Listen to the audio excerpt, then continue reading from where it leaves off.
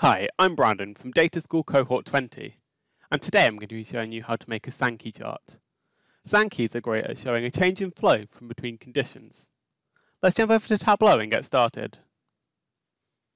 I've already connected to the Tableau Superstore data, but before we continue, I'll need to union the data to itself.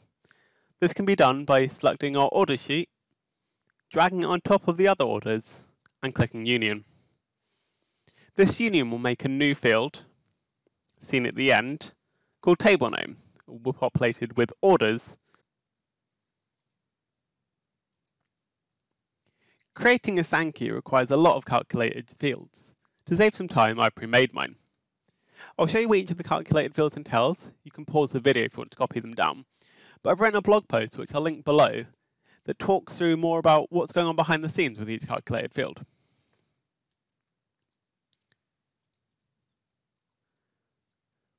Our first calculated field looks at that table name field and says that if it equals orders, then we'll add 1. If not, then 49. If we drag this to our columns, make it a discrete dimension, you can see we've got 1 and we've got 49. But there's nothing in between. We can get around this by creating bins. If we right click, create bins, I'm going to call this padding and make the size of the bins 1. Our next calculated field, 2,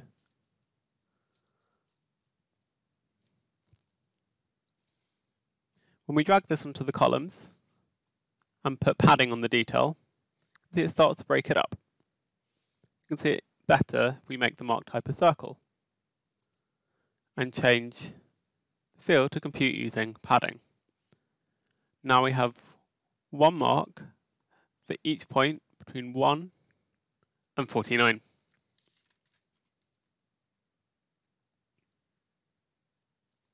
Our third calculated field is a rank. And this is exactly the same as our fourth calculated field.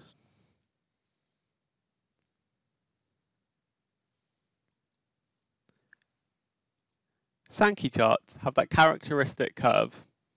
That curve is called a sigmoid curve. And a fifth calculated field tells Tableau how to draw that curve.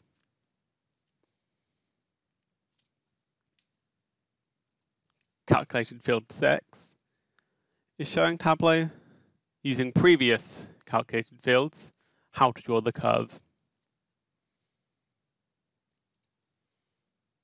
So we'll add this to our rows. See, we get two points. If we edit our table calculation, bring up these nested calculations.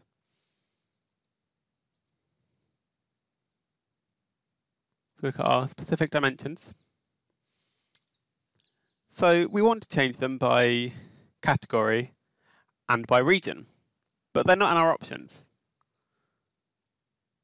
So if we add them to our details shelf, they appear.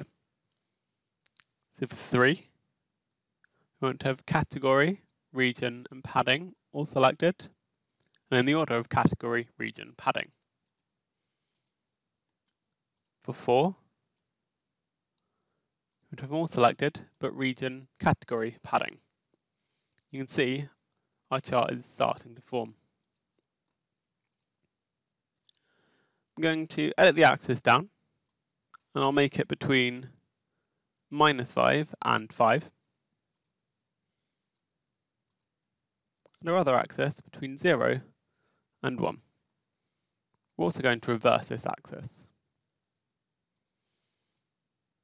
You can see that the curves are starting to draw.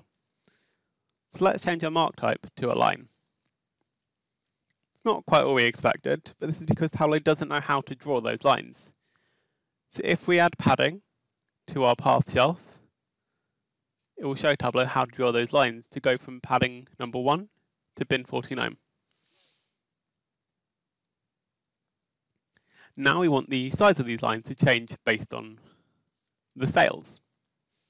This is where our last calculated field comes in.